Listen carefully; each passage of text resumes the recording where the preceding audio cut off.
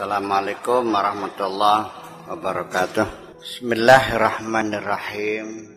Keikhlasan dalam niat ini mesti diyakini dulu, mesti diketahui dulu. Akhlasa yukhlisu. Ikhlas itu, khalis itu artinya murni. Murni untuk Allah.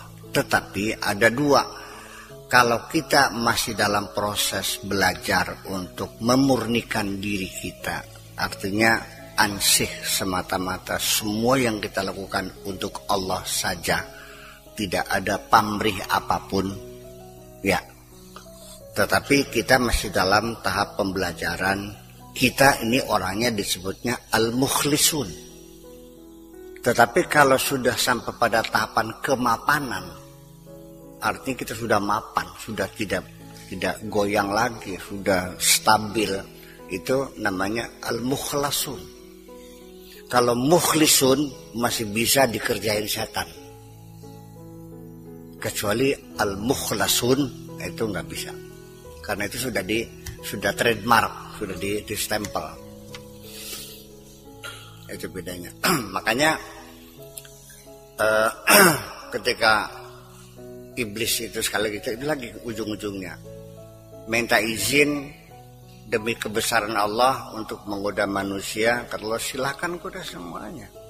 Saya izinkan tetapi tetap nanti ada beberapa orang yang tidak akan mampu kamu goda yaitu hamba-hambaku yang mukhlasun. Illa ibadaka minhumul mukhlasun qala fa bi'izzatika la ughwiyannahum ajma'in illa ibadaka minhumul mari kita uraikan.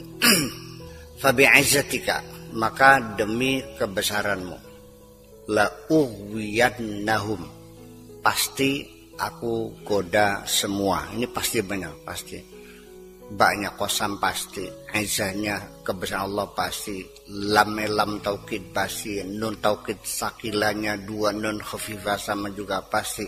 Ajmain juga Taukid juga. Enam kali taukid pasti Pasti pasti pasti pasti. Pasti sekali artinya ya, Yakini. Illa ibadah Kecuali hamba-hambamu. Minhum sebagian kecil dari hamba-hamba Allah al-mukhlasun. Orang-orang yang mukhlasun yang tidak bisa digoda oleh setan. Ibadullah banyak enggak? Dikit dong masa banyak. Ibadullah itu seperti Syabdul Qadir Jalani Abdullah Al-Masri Asyaduli Abu Bakar Siddiq Sayyidina Umar Sayyidina Utsman Sayyidina Ali Sayyidina sesudah gunung jati barangkali ya kan gitu. Itu ibadullah minhum di antara ibadullah itu ada sebagian kecil namanya al-mukhlasun. Jadi minoritas dari itu ibadullah itu ibadallah rijalallah arisuna.